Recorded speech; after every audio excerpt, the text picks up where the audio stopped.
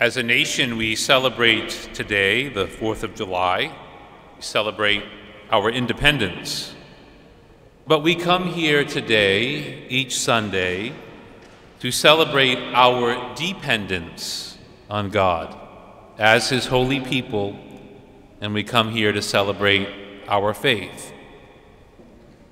Today's gospel passage, we hear the famous words of Jesus.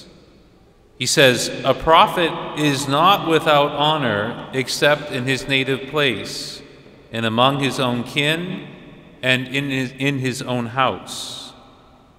I don't know about you, but I have heard many homilies in the past about this very line in Scripture. And so, as I was reflecting on the readings for this weekend, I was drawn to the last line of the gospel passage for today, which says that he, Jesus, was amazed at their lack of faith. He was amazed at their lack of faith. In three of my previous assignments, an area of responsibility for me has been to visit the parish school regularly and to celebrate school masses with the students and the faculty. It has always amazed me to see how the students' faith grow and prosper each year.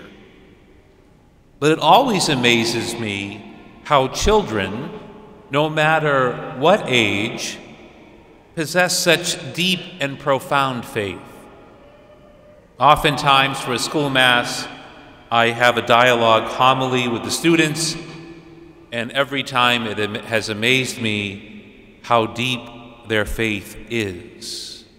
It's rather remarkable. But as we grow older, sometimes our faith is shaken, or its growth is stunted, or individuals try to stifle another person's faith.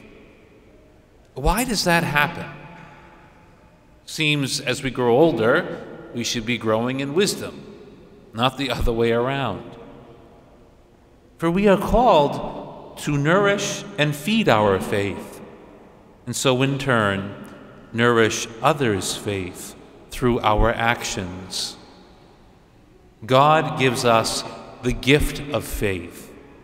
He plants the seed.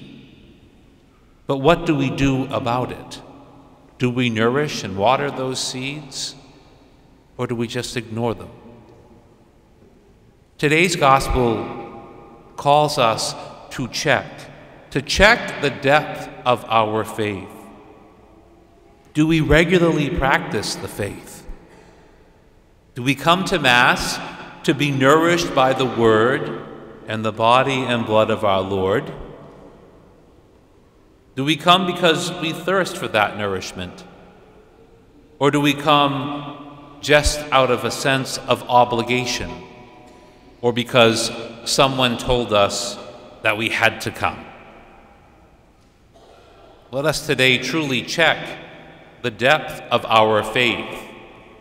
Let us ponder our responses and see if adjustments should be made. It's okay to make adjustments.